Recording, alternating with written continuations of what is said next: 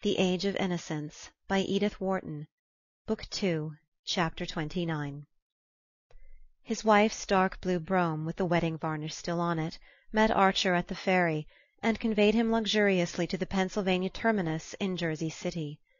It was a sombre snowy afternoon, and the gas lamps were lit in the big reverberating station. As he paced the platform, waiting for the Washington express, he remembered that there were people who thought there would one day be a tunnel under the Hudson through which the trains of the Pennsylvania Railway would run straight into New York. They were of the brotherhood of visionaries who likewise predicted the building of ships that would cross the Atlantic in five days, the invention of a flying machine, lighting by electricity, telephonic communication without wires, and other Arabian Night marvels.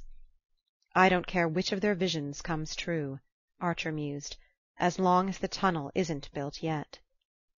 In his senseless schoolboy happiness he pictured Madame Olenska's descent from the train, his discovery of her a long way off, among the throngs of meaningless faces, her clinging to his arm as he guided her to the carriage, their slow approach to the wharf among slipping horses, laden carts, vociferating teamsters, and then the startling quiet of the ferry boat, where they would sit side by side under the snow, in the motionless carriage, while the earth seemed to glide away under them, rolling to the other side of the sun. It was incredible the number of things he had to say to her, and in what eloquent order they were forming themselves on his lips. The clanging and groaning of the train came nearer, and it staggered slowly into the station like a prey laden monster into its lair. Archer pushed forward, elbowing through the crowd, and staring blindly into window after window of the high hung carriages and then suddenly he saw Madame Olenska's pale and surprised face close at hand, and had again the mortified sensation of having forgotten what she looked like. They reached each other, their hands met, and he drew her arm through his. "This way. I have the carriage," he said. After that it all happened as he had dreamed. He helped her into the brougham with her bags, and had afterward the vague recollection of having properly reassured her about her grandmother and given her a summary of the Beaufort situation. He was struck by the softness of her poor Regina. Meanwhile the carriage had worked its way out of the coil about the station, and they were crawling down the slippery incline to the wharf, menaced by swaying coal carts, bewildered horses, dishevelled express wagons, and an empty hearse. Ah, that hearse! She shut her eyes as it passed, and clutched at Archer's hand. "If only it doesn't mean poor granny!" "Oh, no, no; she's much better. She's all right, really. There, we've passed it," he exclaimed, as if that made all the difference. Her hand remained in his, and as the carriage lurched across the gang plank on to the ferry he bent over, unbuttoned her tight brown glove, and kissed her palm as if he had kissed a relic. She disengaged herself with a faint smile, and he said: "You didn't expect me to day?" "Oh, no." "I meant to go to Washington to see you. I'd made all my arrangements. I very nearly crossed you in the train." "Oh!" she exclaimed, as if terrified by the narrowness of their escape. "Do you know, I hardly remembered you." "Hardly remembered me?" "I mean how shall I explain? I it's always so each time you happen to me all over again." "Oh, yes I know I know." "Does it do I too to you?" he insisted. She nodded, looking out of the window. "Ellen Ellen Ellen!" She made no answer, and he sat in silence watching her profile grow indistinct against the snow streaked dusk beyond the window. What had she been doing in all those four long months, he wondered? How little they knew of each other, after all! The precious moments were slipping away, but he had forgotten everything that he had meant to say to her, and could only helplessly brood on the mystery of their remoteness and their proximity, which seemed to be symbolized by the fact of their sitting so close to each other and yet being unable to see each other's faces. "What a pretty carriage! Is it May's?" she asked, suddenly turning her face from the window. "Yes." "It was May who sent you to fetch me, then? How kind of her!" He made no answer for a moment; then he said explosively: "Your husband's secretary came to see me the day after we met in Boston." In his brief letter to her he had made no allusion to Monsieur Riviere's visit, and his intention had been to bury the incident in his bosom. but her reminder that they were in his wife's carriage provoked him to an impulse of retaliation. He would see if she liked his reference to Riviere any better than he liked hers to May. As on certain other occasions when he had expected to shake her out of her usual composure, she betrayed no sign of surprise; and at once he concluded: "He writes to her, then?" "Monsieur Riviere went to see you?" "Yes. Didn't you know?" "No," she answered simply. "And you're not surprised?" She hesitated. "Why should I be? He told me in Boston that he knew you that he'd met you in England, I think." "Ellen, I must ask you one thing." "Yes." "I wanted to ask it after I saw him, but I couldn't put it in a letter. It was Riviere who helped you get away when you left your husband?" His heart was beating suffocatingly. Would she meet this question with the same composure? "Yes. I owe him a great debt," she answered, without the least tremor in her quiet voice. Her tone was so natural, so almost indifferent, that Archer's turmoil subsided. Once more she had managed, by her sheer simplicity, to make him feel stupidly conventional just when he thought he was flinging convention to the winds. "I think you're the most honest woman I ever met!" he exclaimed. "Oh, no; but probably one of the least fussy," she answered, a smile in her voice. "Call it what you like. You look at things as they are." "Ah, I've had to. I've had to look at the Gorgon." "Well, it hasn't blinded you. You've seen that she's just an old bogey like all the others." "She doesn't blind one, but she dries up one's tears." The answer checked the pleading on Archer's lips; it seemed to come from depths of experience beyond his reach.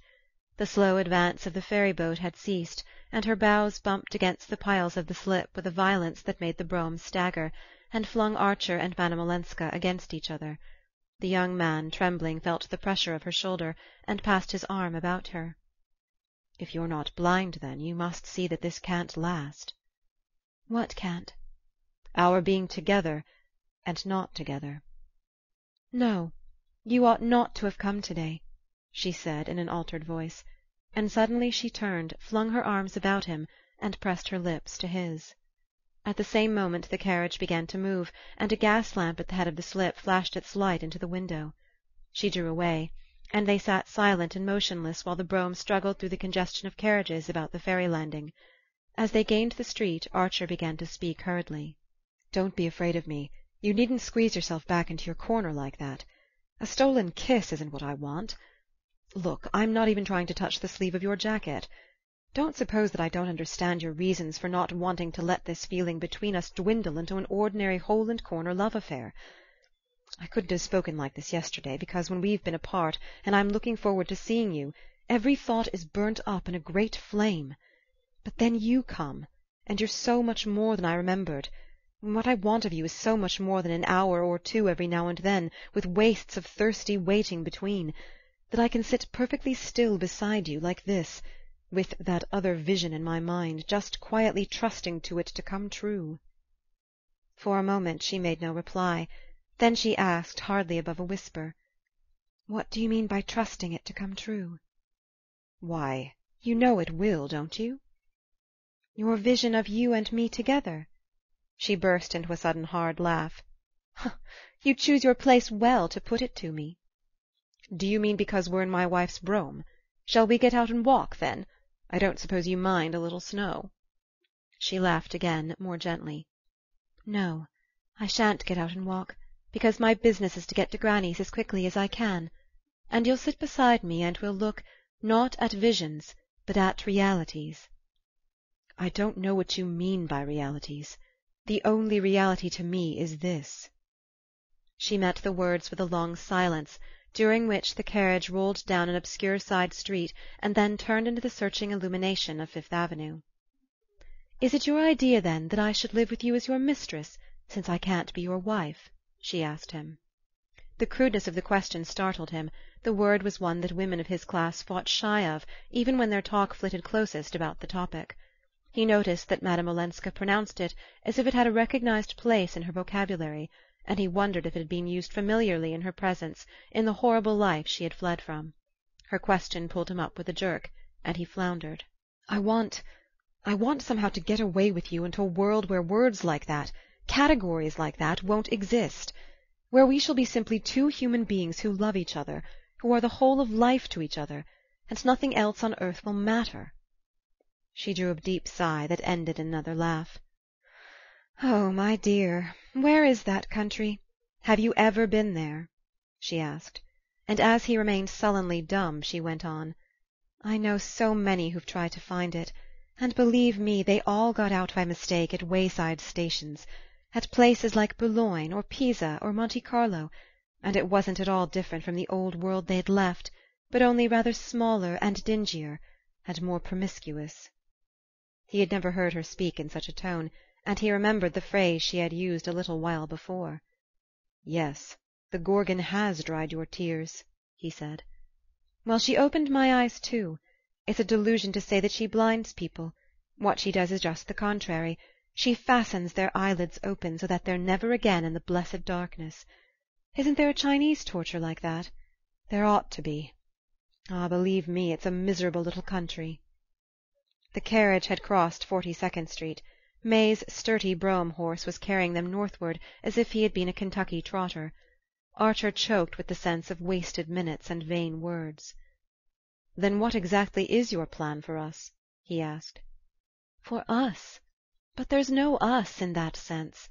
We're near each other only if we stay far from each other. Then we can be ourselves.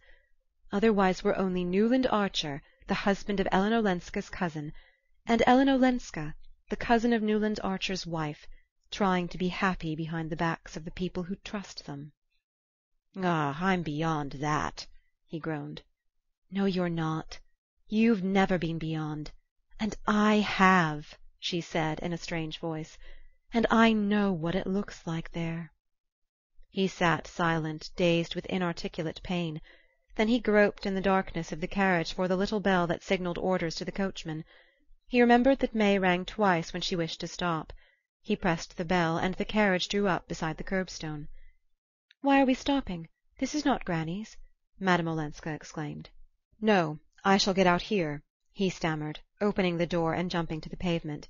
By the light of a street lamp he saw her startled face, and the instinctive motion she made to detain him. He closed the door and leaned for a moment in the window. "You're right. I ought not to have come to day," he said, lowering his voice so that the coachman would not hear. She bent forward and seemed about to speak, but he had already called out the order to drive on, and the carriage rolled away while he stood on the corner. The snow was over, and a tingling wind had sprung up, that lashed his face as he stood gazing. Suddenly he felt something stiff and cold on his lashes, and perceived that he had been crying, and that the wind had frozen his tears.